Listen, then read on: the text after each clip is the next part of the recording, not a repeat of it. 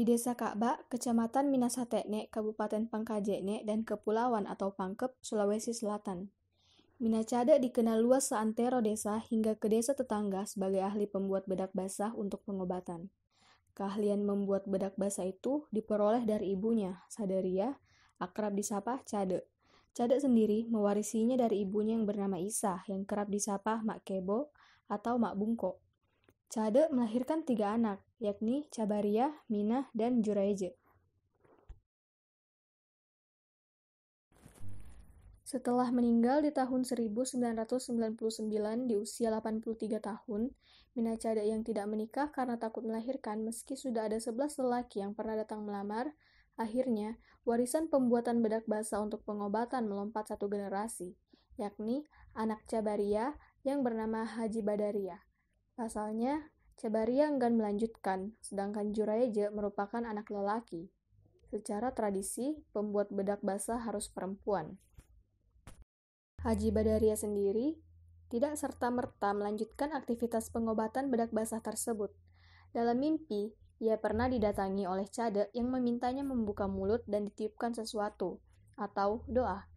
Mimpi serupa juga pernah dialami Hukmawati, anak tertua Haji Badaria yang kini ikut membantunya membuat bedak basah jika ada yang datang meminta diobati.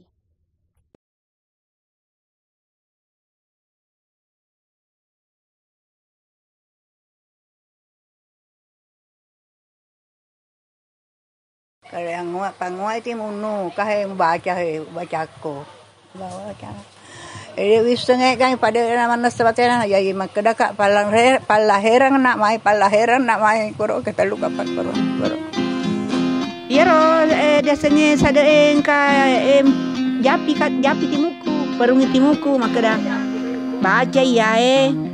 Eh agang eh pak bura-bura asena eh ya baca eh. Tapi ya betul eh langsung apa sedih maka dah kak pada joli nenek itu kada miki cada cada baca pici cada dia pawang kali ngai. Dek ni lenyek ni